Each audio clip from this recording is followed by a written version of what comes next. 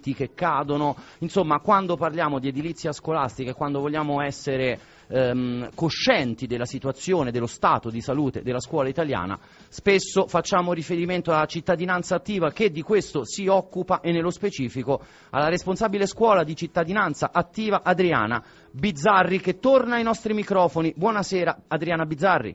Buonasera a voi. Dunque Adriana, inizia l'anno scolastico, formalmente è già iniziato, eh, ci si deve cominciare a preoccupare, anzi forse lo si doveva fare già un po' di tempo fa, dello stato di salute delle nostre scuole, in che modo riprende l'anno scolastico con qualche certezza in più anche dal punto di vista degli investimenti che fanno tutta la differenza del mondo, tu lo sai. Ma eh, certamente abbiamo notato anche dalla stampa locale come l'estate sia stata utilizzata da molte amministrazioni per intervenire con provvedimenti Bene. almeno di manutenzione ordinaria in, in, misura cospicua e questo sicuramente è una buona notizia dal mm. nostro punto di vista. E, e, anche sono diciamo, stati erogati ulteriori fondi inaspettatamente proprio per evitare gli episodi di crollo che citavate all'inizio sì. e, e, quindi anche qui nuovi, nuovo rifinanziamento delle famose indagini diagnostiche di soffitti, solari e controsoffitti. Bene. Ecco, sul resto certo non ci sono novità per quanto riguarda un aggiornamento dell'anagrafe, quindi mm-hmm. diciamo, lo, il nostro osservatorio non ha rilevato ancora cambiamenti così sostanziali no? come sì. eh, invece purtroppo dovrebbe esserci, anzi il fatto di aver prorogato per esempio l'antincendio ancora di un altro anno ecco eh, non è un dato incoraggiante anche se diciamo, è chiaro a fronte del fatto che non c'erano fondi ad hoc è pure comprensibile che eh, gli enti eh, se no ne aprivano abbiano... poche di scuole Adriana a questo punto o meglio c'è stata la situazione di Messina nei scorsi mesi che tu conosci bene con il sindaco che si era messo di traverso e aveva detto o vi adeguate alle normative o io non apro eh, esatto, quello, eh, esatto. Sì. quindi sicuramente per l'antincendio è stato un modo per evitare evitare questo mm. e, e, sappiamo peraltro che l'incendio non è certamente il rischio più presente nelle no. nostre scuole, quindi da questo punto di vista diciamo, ci tranquillizza. Quello che ci inquieta è che, e lo presenteremo appunto ah, il 26 settembre in occasione della dell'evento che faremo per presentare i dati nuovi, sì. eh, abbiamo scoperto invece che, questo è un dato molto preoccupante, che gli episodi di crollo sono aumentati. Mm-hmm. Già lo scorso anno erano 50, uno ogni tre sì. eh, giorni di scuola e quest'anno sono addirittura di più. Mm-hmm. Eh, cioè quest'anno l'hanno appena concluso sì. e quindi è chiaro che vuol dire che ancora la manutenzione, anche quella ordinaria, non è eh, non, non, garantisce questo e ecco perché eh, sono così importanti queste indagini diagnostiche, questo da una parte. Certo. E dall'altra la lentezza nell'erogazione di fondi anche stanziati da tanto. Oh, ecco. Ma hai anticipato la mia domanda perché ti stavo per chiedere anche sulla scorta dei messaggi che mi stanno arrivando in questo momento perché come puoi ben capire è una preoccupazione di tanti genitori no? che i figli vadano in una scuola eh, tenuta nella maniera corretta, adeguata da, da, tutti i punti di vista, quello sismico, antincendio, insomma una scuola sana. Quindi mi, mi chiedono, abbiamo letto negli scorsi mesi soprattutto eh, comunicati stampa da parte del MIUR, questo lo aggiungo io che li ricevo eh, sistematicamente, di erogazione di tanti fondi proprio per l'edilizia scolastica. Dov'è che questi fondi incontrano un collo di bottiglia, un imbuto, per cui poi diviene difficile accedervi, perché questo è un problema che esiste. Eh sì, è proprio così.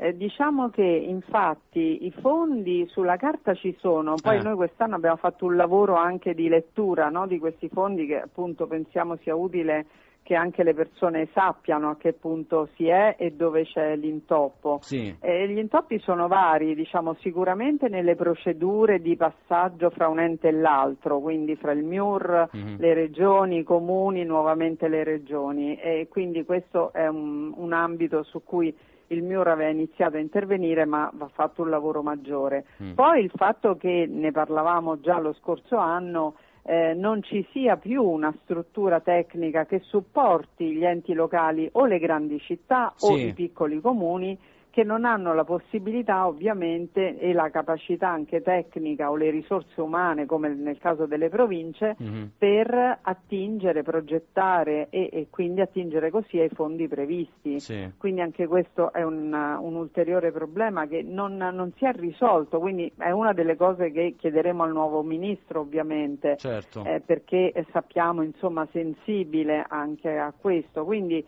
eh, questo sicuramente è un problema grosso, per cui vengono spesso, tra virgolette, passatemi il termine, rivenduti come mm-hmm. nuovi fondi che invece ai noi sono vecchi. Certo. Ecco, e, e poi altri sono del tutto spariti, scusate l'espressione. È che è inquietante sì, dirla così eh, un po'. Lo eh. so, è così, spariti nel senso non che siano stati rubati no, da qualcuno, no, l'ho capito, ma che però... sono fermi. Eh, Faccio sì. l'esempio di scuole innovative, no? Sì. 51 scuole nuove, belle, eh, con architetti, di, insomma, con progetti architettonici avveniristici.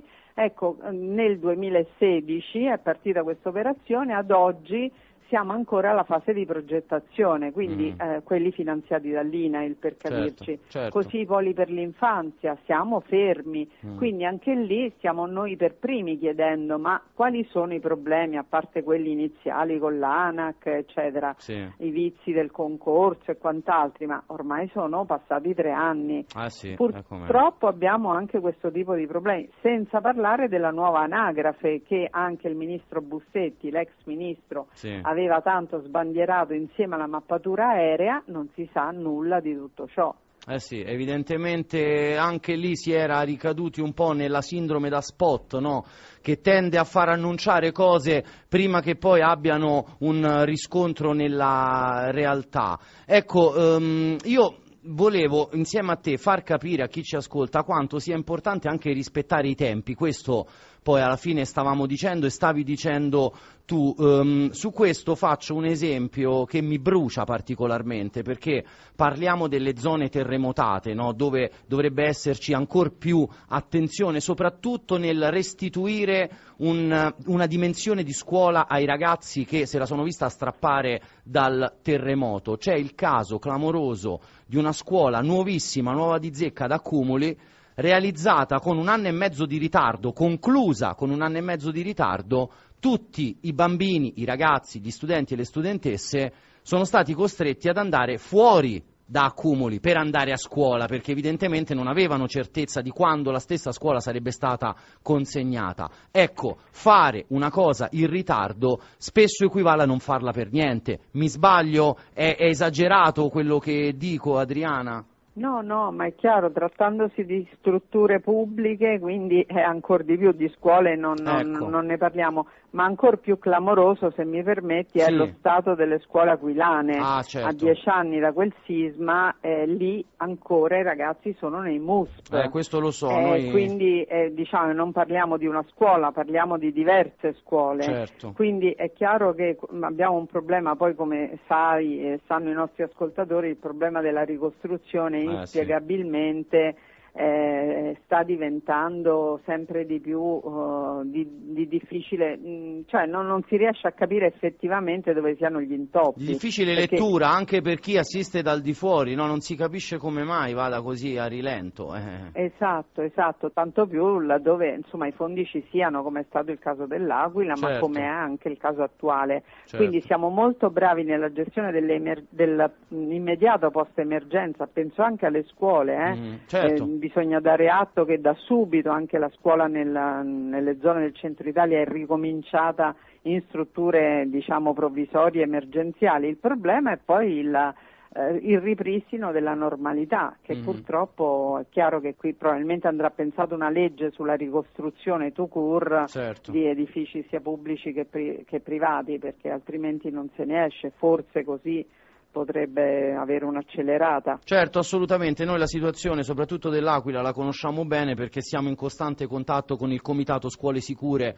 abbiamo seguito la vicenda del, dell'Istituto Cotugno con i turni a scuola, insomma eh, questioni che vanno migliorando, c'è da dirlo, però ancora no, si è lontani da una soluzione definitiva. Io faccio un ultimo passaggio con te Adriana perché leggevo alcune tue dichiarazioni, questa volta non c'entra l'edilizia scolastica ma c'entra eh, l'educazione civica, no? eh, tu ti esprimevi, erano i primi di agosto, la crisi di governo eh, non era ancora esplosa, eh, in tutta la sua interezza Salvini non aveva staccato la spina e tu già parlavi ehm, diciamo di un'introduzione di questa materia che presentava alcune zone d'ombra. Ecco, ad oggi qual è il destino di questa materia? Perché Bussetti continua a dire che ci sarà e sarà una materia curricolare, qualcuno parla di una materia che sarà introdotta sperimentalmente. Tu sei aggiornata da questo punto di vista, come si regoleranno i ragazzi? Ma eh, guarda, come poi effettivamente agiranno le scuole eh, eh, bisogna capire. È un rebus. Da quello che sappiamo è che essendo tardivamente insomma, comparsa nella gazzetta ufficiale sì. è chiaro che non si poteva obbligare le scuole certo. ad, a un avvio così repentino senza alcuna ovviamente condizione e mm. tempi adeguati